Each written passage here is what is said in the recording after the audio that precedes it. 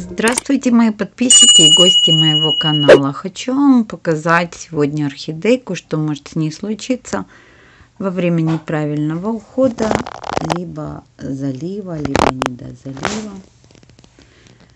Сейчас я вам все подробно расскажу. Вот мы покупаем на вид здоровую, красивую орхидейку, которая должна нас радовать долгое время – на подарок или просто для души. Это, например, чармер. Смотрите. И мы, когда покупаем, мы, конечно, смотрим на цветочки. Нравится нам этот цвет или не нравится. Ну и внешний вид. Листочки. Чтобы их было побольше, чтобы они были крупные, мощные, красивые. Но я вам хочу рассказать, на что нужно обращать внимание при покупке вашей орхидейки. На цветочки, конечно, это хороший признак, нравится вам цвет или нет. Долго она будет цвести, там много бутончиков или мало, или конец цветения, один-два цветочка. Это тоже хороший признак. Но прежде всего нужно смотреть и на листики, чтобы они были крепкие, красивые, без повреждений, желательно такие глянцевые, переливающие. Дальше на корешочки. Эта орхидейка давно у меня растет, так что ее пересаживать не надо. Чтобы были воздушные корешки и в горшочке корешочки. Дальше смотрим на стволик, чтобы он был чистый, без всяких пятнышек, без ничего. Если увидели какое-то подозрение на пятнышки, такую орхидеечку лучше не брать, потому что с ней нужно будет много повозиться. Вот я себе взяла орхидеечку такую, что нужно много повозиться. Вот посмотрите, пожалуйста. Листики у нее вялые. Видите, какие? Как тряпочка. Корневая пересохшая, то ли долита, то не долита. Ну вот радует меня, есть молодые корешочки, видите? И вот идет молодой корешочек. Значит, у нее все будет хорошо. Еще, видите, при том, как я вынула из горшочка, видите, вот этот торфяной стаканчик нужно обязательно убирать. Сейчас он пересох, но если полить эту орхидейку, она наберется влаги, этот торфяной стаканчик, и вот эта корневая шеечка начнет обязательно гнить, так как корни пересохшие, они не будут впитывать, э, как положено, воду. А корневая шеечка начнет гнить, и растение может погибнуть вовсе. Сейчас вам расскажу, что я буду делать с таким растением – и как его восстановить. Если не убираем торфяной стаканчик, то мы получаем в дальнейшем такую картину. Смотрите, корневая шейка прогнила, корни все высохли, верхушка отпала, так как появилась черная гниль, и орхидейка погибла. Чтобы этого избежать, лучше всего раскопать из э, покупного горшочка орхидейку и убрать этот торфяной стаканчик. И тогда ваша орхидейка, если нет никаких черных пятнышек на корневой шейке, будет жить дальше и радовать вас своим цветением.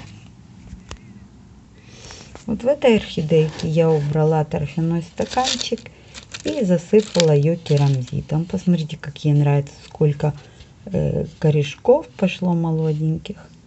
И новые листочки начали расти. Видите, какие все подходит.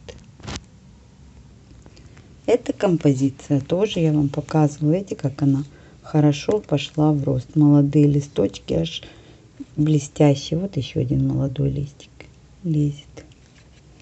Очень хорошо ей.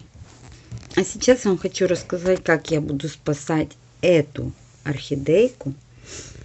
Э, после того, как я убрала торфяной стаканчик, ее нужно напоить.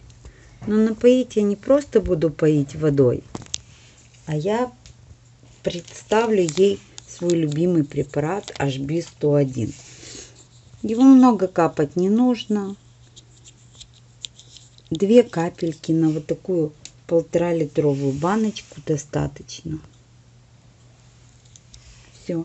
И ваша орхидейка стимулирует рост и силу своих корней и всех возможностей, возобновит все. То есть, смотрите, я ставлю ее ровненько и просто этот раствор вливаю по самый верх, по корневую шейку. Выше не нужно, видите, корневая шейка висит в воздухе, а те корешочки намокшие. И так оставлю до утра, а утром покажу, что получилось. А сейчас хочу вам показать свой эксперимент, что у меня получилось. Я решила свои реанимашки наподобие этой орхидейки, которую я вам только что снимала, держать в высокой вазочке и на дно поставила керамзит и налила на палец, ой, извините, воды. И смотрите, какие результаты. Некоторые корешочки проснулись, видите, раскуклились. Очень даже неплохо. Некоторые подгнили.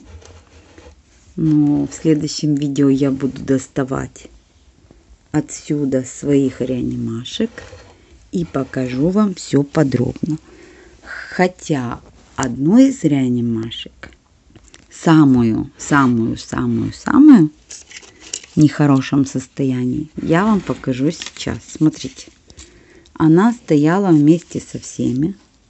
Черная. Сегодня я хотела ее ну, вытащить с этой колбы и выбросить. Но я просмотрела ее полностью Вроде бы ничего такого не нашла, корни новые не пустила, вот грибок появился. Но когда я оторвала один листочек, посмотрите, какая она зеленая здесь. Живучая орхидеечка. Значит, надо ее спасти. Будем расковыривать. Вот пупчик зелененький. И будем ее спасать. А если бы я этого не заметила, я бы ее выбросила. Смотрите, на что она похожа никуда не годится. Но она показала признак жизни. Очень интересный экземпляр. Но об реанимашках мы после поговорим. Об, именно об этих. Есть еще многие другие реанимашки. Как я им наращиваю корневую систему, смотрите мои видео. И все узнаете подробно. Прошел час, и хочу примерно показать вам, что получается с этой орхидейкой. Смотрите, некоторые корни зеленеют, они набираются влаги. То есть, я думаю, она отойдет и будет радовать меня. Шеечка не черная, вроде бы черноты нигде не вижу. Видите? И значит, я ее вовремя купила для того, чтобы она продолжила свою жизненную деятельность. Вот те корешочки, наверное, уже не выживут. А которые позеленеют, будут жить еще. И приносить пользу своему растению. Молодой листочек вот этот один вырос, а внутри нет, не показался. Будем наблюдать за ее состоянием. Сейчас я солью воду, оставлю на палец вот так, так как корни уже некоторые позеленели. И в следующих видео буду ее показывать и рассказывать, как эта орхидейка себя будет чувствовать. Видите, какой у нее цветочек непонятный. Темно-темно-чернильный, скорее всего. Но ну, не было живого цветочка. Я бы хотела увидеть ее красивой, цветущей. Но я решила ее забрать, так как она стояла вялая, сухая, вывалилась из горшочка. И я ее пожалела и решила забрать домой.